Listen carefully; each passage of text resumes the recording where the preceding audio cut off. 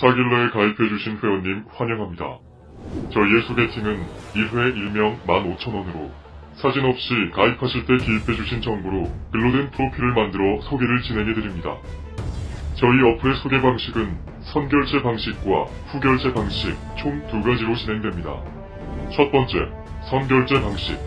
소개받는 남성분께서는 원하시는 이성의 지역대, 나이대, 성격, 소개 횟수를 길잡이에게 말해줍니다. 그리고 길잡이가 보내준 소개 전 동의사항을 읽어보고 동의를 해주시면 동의라고 말해주시고 동의하지 않으면 소개가 진행을 진행해 드릴 수가 없습니다. 소개 전 동의사항을 동의해 주신 회원분들께서는 본인이 원하는 소개 횟수만큼의 돈을 입금받습니다. 예시로 두 명의 여성분을 소개받기를 원하신 분이라고 가정을 했을 때 3만원 입금 확인 후 남성분의 이성형을 토대로 여성분을 찾아봅니다. 남성분의 프로필을 확인 후 OK를 해주신 여성분들의 프로필을 다시 남성분에게 보여드리고 남성분 또한 OK를 해주시면 매칭이 성사됩니다.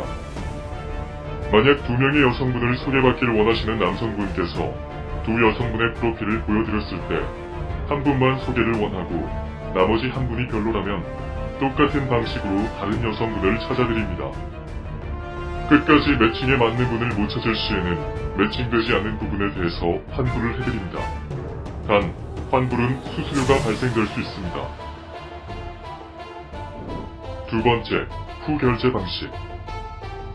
소개를 원하는 여성분이 길잡이에게 소개 신청 후 여성분의 이상형을 길잡이에게 말해줍니다. 여성분의 이상형에 맞는 남성분들께 여성분의 프로필을 먼저 보여드립니다. 소개를 원하시는 남성분이 길잡이에게 소개를 원한다고 말씀해 주시면 남성분의 프로필을 여성분께 다시 보여드립니다. 여성분 또한 OK를 할 시에 15,000원 입금을 받고 매칭이 됩니다. 단, 후결제 방식은 첫 번째 소개 방법, 선결제 방식을 진행한 분들로만 이 방식이 가능합니다.